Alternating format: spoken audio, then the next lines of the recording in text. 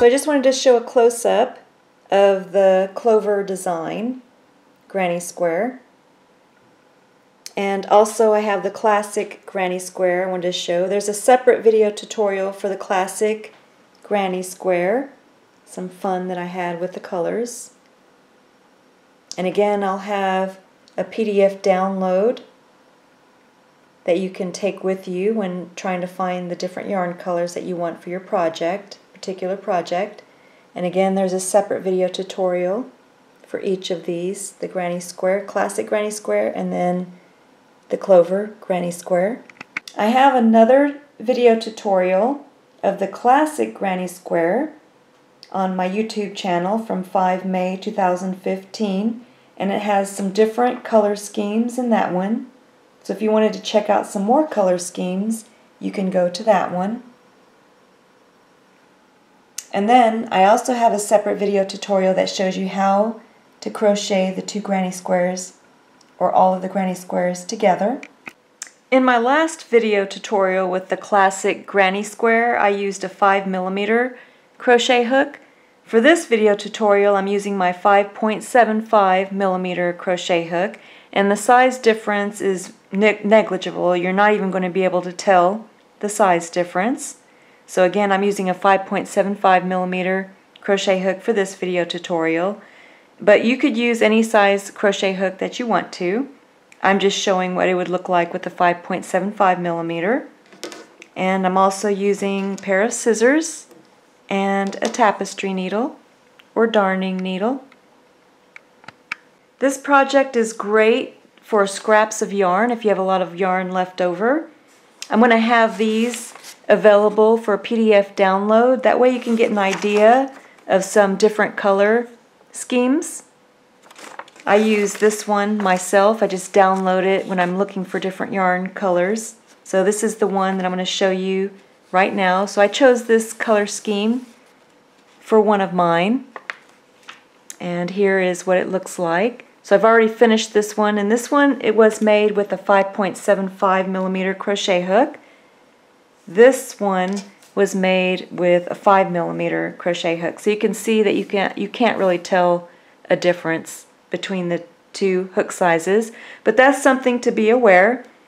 Different crochet hook sizes will affect the size of your crochet work as well as yarn choice. So again, these will be available on my website for free PDF download. So for video tutorial, I chose to make a color scheme similar to this one. So I'm going to show you what yarn I used for the yellow, the purple, and then I didn't have any of this pretty green, pastel green, so I'm using like a light blue. And then I have a pastel light pink. So again, I'm using a lot of my leftover yarn. This is my bright yellow red heart leftover yarn. I also have big twist value yarn left over. This is a lilac color. Let me just give you some information about this yarn. So equivalent yarns I've used in my, um, when I use it for this pattern. Then for the brown I'm using with Red Heart Love, so my leftover chocolate brown. For the pink I'm using Bernat Baby Sport. So I'm going to give you some information about this yarn. You could use equivalent yarns to this one. And this is the pastel pink color. So you'll have plenty left over.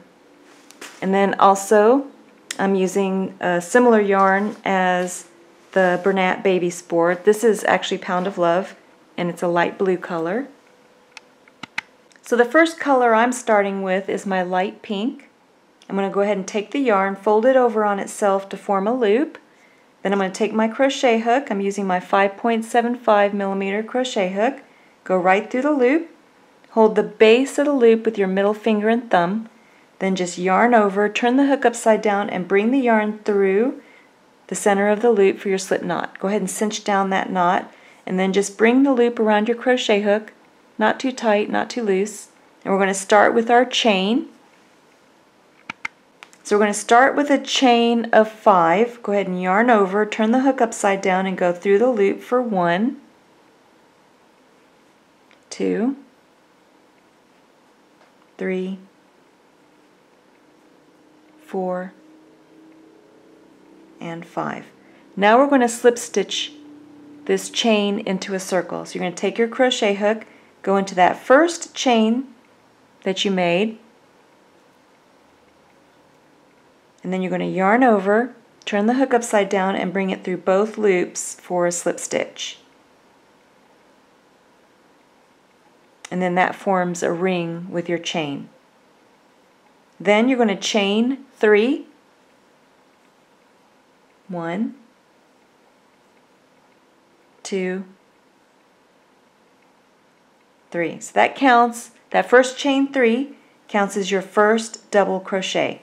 And as we crochet into the center of the circle, you're going to be burying your loose yarn end as you crochet. So now you're going to yarn over, go into the center of the circle, go behind your loose yarn end, bring up a loop. You have three loops on the hook. We're going to complete a double crochet. So yarn over, turn the hook upside down and go through two of the loops. You have two loops remaining on the hook. Yarn over, turn the hook upside down and go through the two remaining loops. So now you have two double crochet in the center of the circle. You're going to make one more. So yarn over, go into the center of the circle, go behind your loose yarn end, bring up a loop, make your third double crochet, So now you have a total of three double crochet. Now you're going to chain three. One, two, three. Then you're going to make three more double crochet into the center of the circle. So you yarn over, go into the center of the circle, and I'm still going behind my loose yarn end and then make your double crochet. So now you need two more.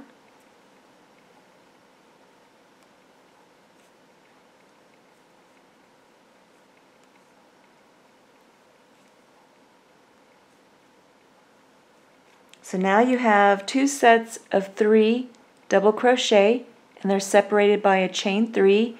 We need a total of four of these sets around the circle. So I'm going to make one more with you. You're going to chain three.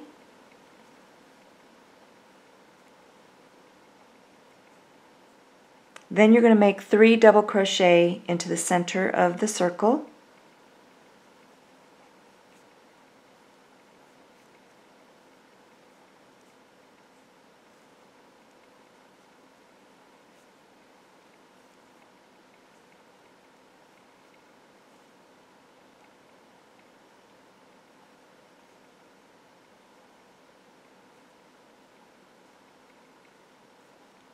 So now you have three sets of three double crochet and they're separated by a chain three. So now you're going to chain three and make one more set of three double crochet and then come back. I almost did that gracefully, but still dropped it. So anyway, now I have four sets of three double crochet. I'm going to go ahead and cut my loose yarn end.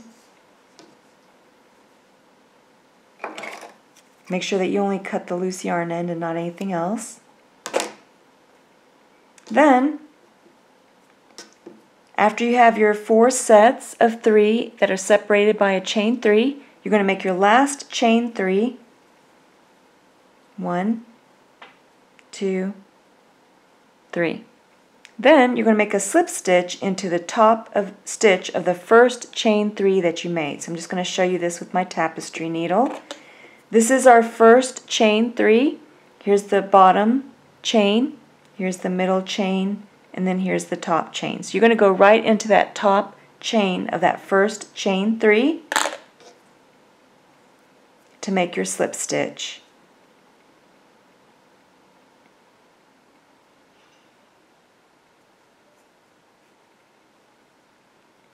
So you just bring the yarn through both loops on the hook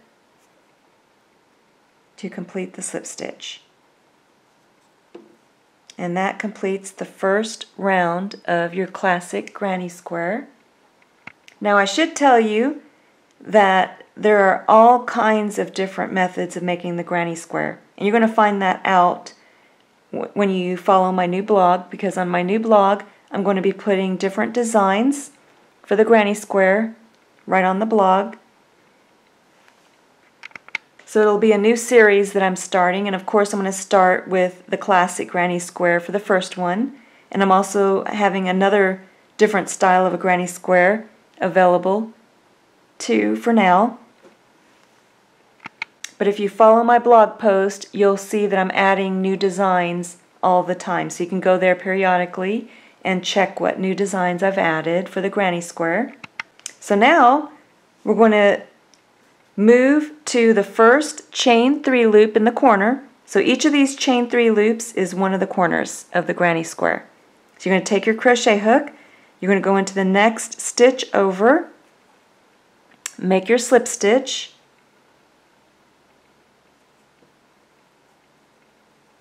and then you're going to go into the next stitch over and make your slip stitch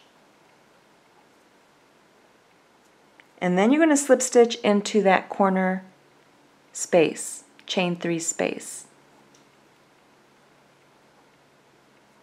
and this is where I join my new color if you're joining a new color if not you're just going to follow along for the second round but if you want to change colors, this is how I change colors.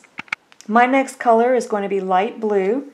So I'm going to go ahead and bring up a loop with my new color. Then I'm going to go ahead and chain one. I'm going to set my work down, cut my previous colored yarn, tie a knot, and I like my work to be really secure, so you'll notice that for some of my knots, I'm going to tie it three times.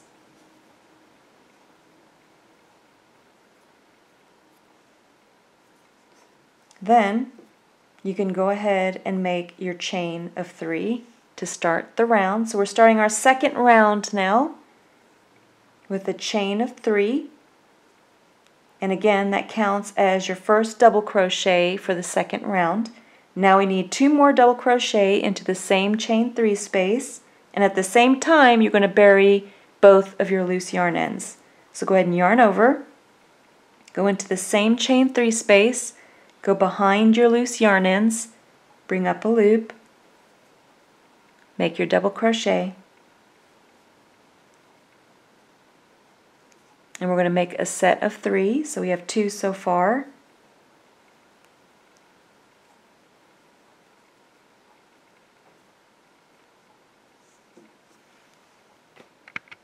Then you're going to make a chain of three. One two three then you're going to make three more double crochet into the same chain three space for the corner and again, I'm still going behind my loose yarn ends.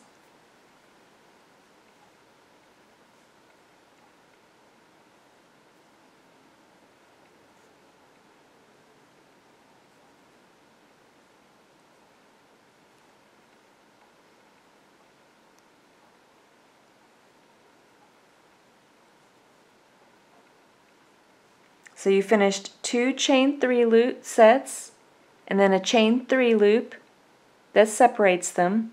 Now you can go ahead and cut the previous colored yarns that you buried.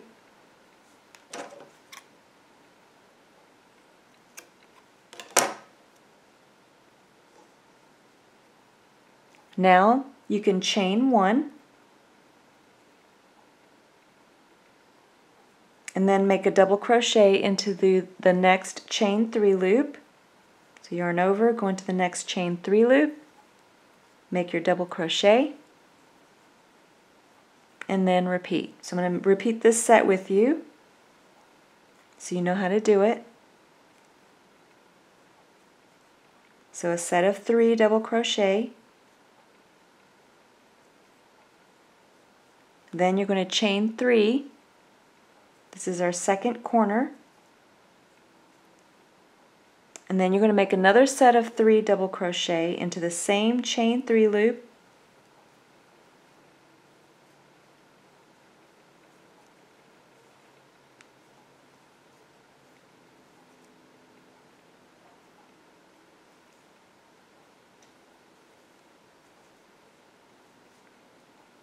And then you can see how you finished your second corner the same way that you did your first corner. Now, between each corner, you have a chain one stitch. So you just chain one now, and then repeat. So go ahead, finish your last two corners, and then come back. So this is what my work looks like so far. And I'm going to finish my last. Let me make sure is you want to make sure you finish your last chain one. Then you can slip stitch into the top stitch of that first chain three that you made, the exact same thing that you did for finishing up round one. And again, you're going to slip stitch to the corner. So you're going to make a slip stitch into the next stitch. Slip stitch into the next stitch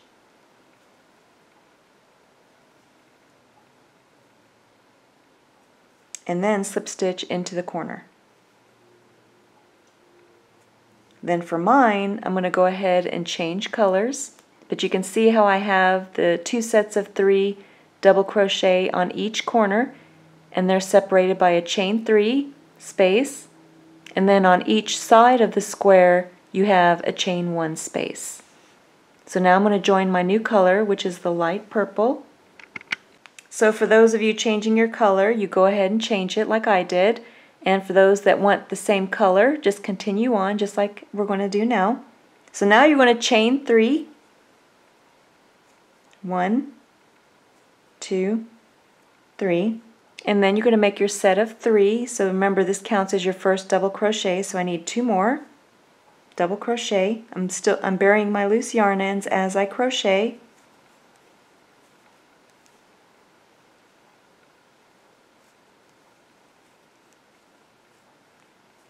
Now I'm going to make a chain of three and then make three a set of three double crochet again.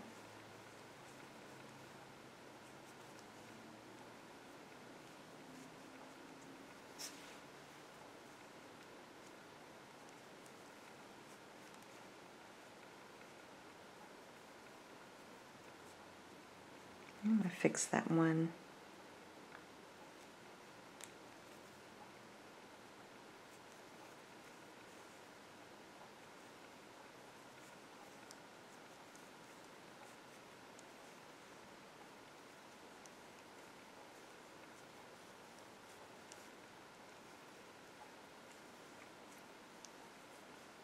So now I have two sets of three in the corner three double crochet and then the chain three loops separate th separating them in the corner.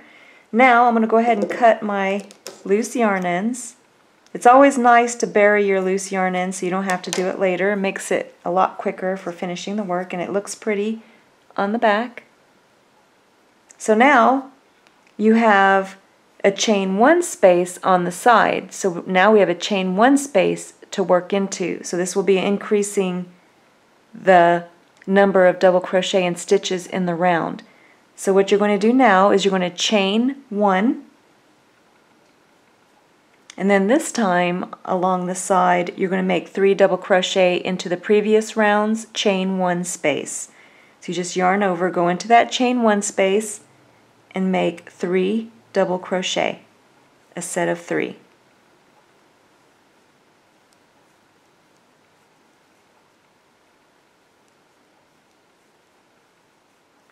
And then chain one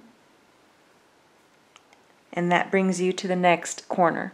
So again, in the next corner, you're going to repeat the same pattern that we did for the first corner. You're going to make a set of three double crochet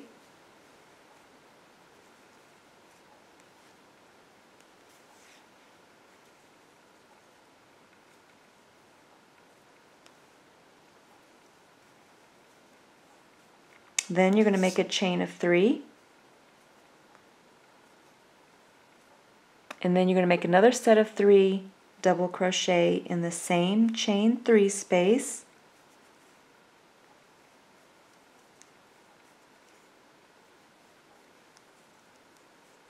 And then you completed another corner. So you're going to complete each side the same way and each corner the same way and then come back.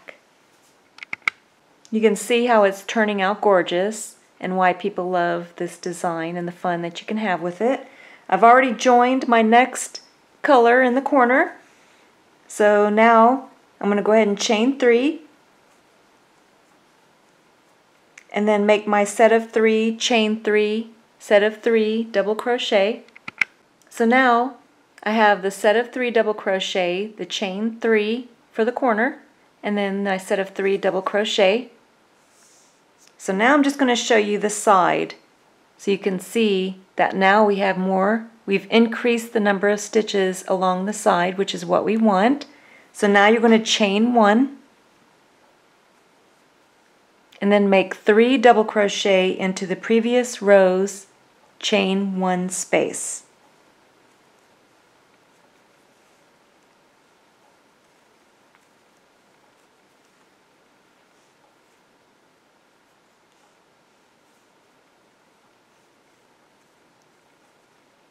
So now we have another chain one space here, so we're going to chain one and then make three double crochet into the next chain one space. And you'll find that you can make this granny square as small or as large as you want. So you just keep going and each subsequent round will have more chain one spaces to fill just like this before you get to your corner. So now you're going to chain one and then create your three double crochet with a chain three between them.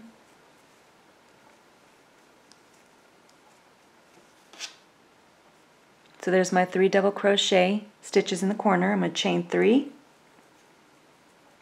and then make three double crochet into the same corner space. And that's how you create this round. So go ahead, finish this round, and then come back. So I've already joined the last round with the chocolate brown color. And you can see how it just really brings out the colors in the granny square. So now I finished my last slip stitch and I just wanted to show you the chain one spaces for the last round and then each of the corners. So it's made the exact same way except you have more spaces along the sides. Then you can take and go ahead after you make your slip stitch you can go ahead and finish off. So just yarn over and pull enough yarn through to bury the loose yarn end in your work. So now you can take your tapestry needle and place the loose yarn tapestry needle on the loose yarn end and then you can bury it into your work. I just weave it in to one of the corner spaces and then just bury it. And then sometimes I'll go back across too. Make sure it's nice and buried. And then I'm going to go ahead and just cut it.